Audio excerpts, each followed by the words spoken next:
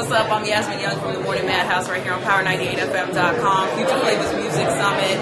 Uh, we've got Bryan Michael Cox, songwriter, producer, Grammy Award winner, the man, and we've got a newcomer R&B artist, Bertel here. Um, so just talk real quick about your experience here at the Future Flavas Music Summit and connecting with some of the up-and-coming artists, songwriters, producers. I mean, for me, it's always uh, uh, great to give back. You know, I, think the biggest biggest thing I can give is education. So whenever I have an opportunity to educate, maybe kind of give backstory on what's on what the business is, or give backstory, backstory on how some of the created, um, and give people insight on how to make these records. Um, I'm, I'm always willing and able to do. And uh, it's always good to see bright young faces. Um, and, and see how you know, and energize are and trying to the. So, you know, And Bertel being kind of a newcomer to the industry, what's your take on this? I'm sure you went to many of these before you actually really got put on, put on. Um, what's your what's your experience been here?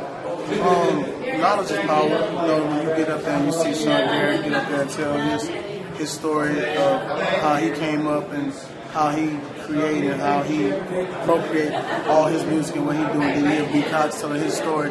Kind of gives you insight on whatever you do personally that you that you're not doing it wrong. You know what I mean? It, it's no it's no blueprint. It's it's, it's more of an inside internal feeling that you make visual art or you make ear art whichever way it goes. Art is art. You know what I mean? So when you see those people talk, it's, it's it got to be in you. Bottom line is basically that's what I get from everybody is that if you, if you want it and it's in you and you keep going after it, um, sooner or later you're gonna get it if you got it.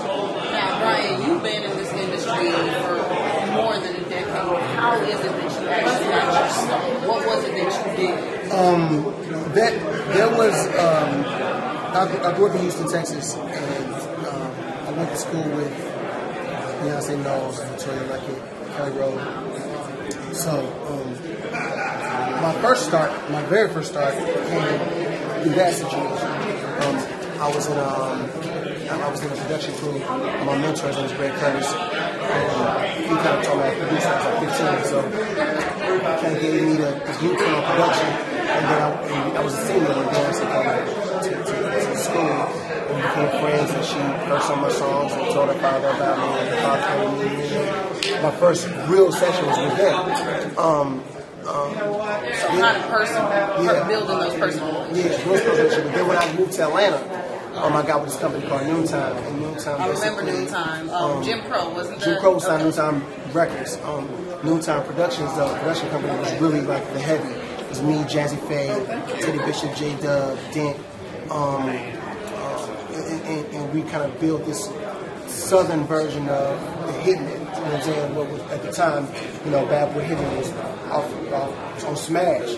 And we kind of built that same kind of energy in the South. We were Toni Braxton, Aaliyah, Jagged Edge, I Met Your Man, and I started working with uh, Mariah. And it, it just kind of just Domino effect. domino effect. You know what I'm saying? Exactly. And um, and then you know, here we are. You know, I'm- you know, almost 15 years later. You know, still, you know, still kicking it. You know? Now, Bertel, for you, what is it that you're doing to kind of stand out from all the other R&B artists that are coming up, that are you know the new ones that are in the industry now? Uh, Jay Z said something in this interview he had with Warren Buffett, and he was like, "The new artist today is an artist who know how, who knows how to do it all, as far as handling his business, as far as not like." Because of panels like this, artists can't say they don't know anymore. You know what I mean? So for me, I already know a lot. I'm, I'm real hungry to know more. So for me, I, I do a lot of stuff on my on my own. Like I, I, I learn from trial and error, and I keep building myself and my character that way. So for me, what makes me different is just what I've gained, what I what I know, and, and how I know how to make things happen. Like I go in the studio literally. If some if Bryan give me a track, if he give me ten tracks, I can literally go in the studio by myself and record ten songs. Record myself, write them, and give them to him, and he'll tell me like, "Yo, you need to do change this, fix that, fix that." He can leave again, come back, and it'll be done. But you know, it- it's just things you learn. Well, I mean, yeah, it ain't no babysitting. You just gotta, you, gotta- you gotta work. The new artists, and, and granted, to piggyback off what he said, me, me and Bertel are, are partners. You know what I'm saying? I think that that is the new business model. You know what I mean? You know, you want to have, because I'm a creative person too, so I go on my creative changes. He has to be able to maintain his, his business. You know what I mean? So, so the way we structure our deal is, is quite uh, extraordinary because we are, you know, Not a trendsetter. we're, we're, it's, it's, it's, I don't think that you know, that is like how we did our deal. You know, we're partners from the gate, and I depend on him to handle him. He depends on my ear, my, and my, you know, expertise to say if you're going in the right direction or no, let's add this, you know what I mean? And it, works. You know what I'm saying? It works better than any situation I've ever had. Um, it takes the, the pressure or burden off for me to have to do everything. You know what I'm saying? So, um, I, in the past, I couldn't trust artists to handle their own thing. Yeah. You know what I mean? You know, I trust him to handle his own thing. He's to handle what he can. He's a businessman. So I think that that is even, he's not just an artist. He's a, he's a business. Like, he, has, he approaches everything. I think that that is the number one difference between him and a lot of artists out right now are trying to come, you know, Okay. Well, last question. Um, just give you know a couple words of advice to those future singers, songwriters, producers that may be watching this that are looking up to you all, you know, as inspiration. First and foremost. The power of belief is within yourself. You know, you gotta. If you believe, that's all that matters. Hands down, nothing else matters. If you believe, and you believe in yourself, nothing else matters. Um,